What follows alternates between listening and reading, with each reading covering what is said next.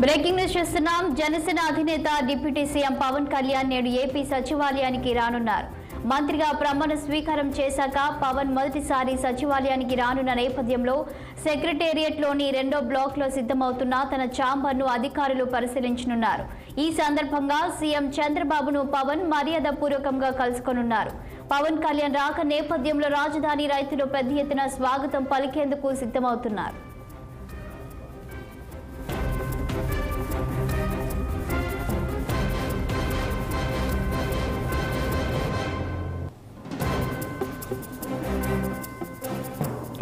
ఇక దీనిపై మరింత సమాచారం మా ప్రతినిధి కృష్ణ అందిస్తారు.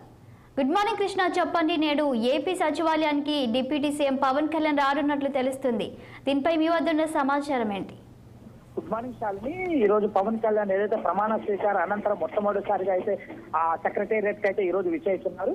రేపు తన ప్రమాణ స్వీకారం అయితే కార్యక్రమం నుండి ఈ నేపథ్యంలో సెక్రటేరియట్ సచివాలయంలో రెండో బ్లాక్లో తన ఇప్పటికే తన డిప్యూటీ సీఎం ఉన్నటువంటి క్యాబినెట్ ఇప్పటికే అధికారులంతా కూడా పరిశీలించి దాన్ని సిద్ధం చేస్తున్నట్లయితే మనకు అందుతున్న సమాచారం.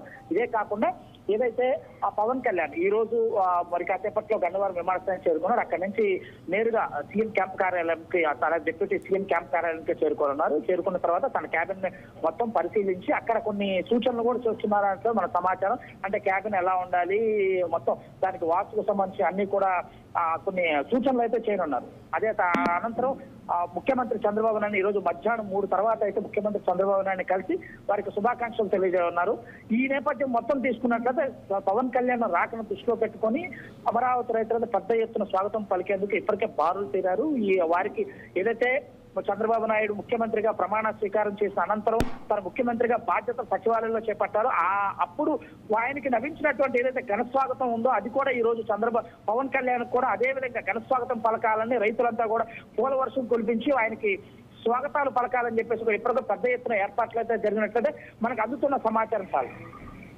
Thank you Krishna.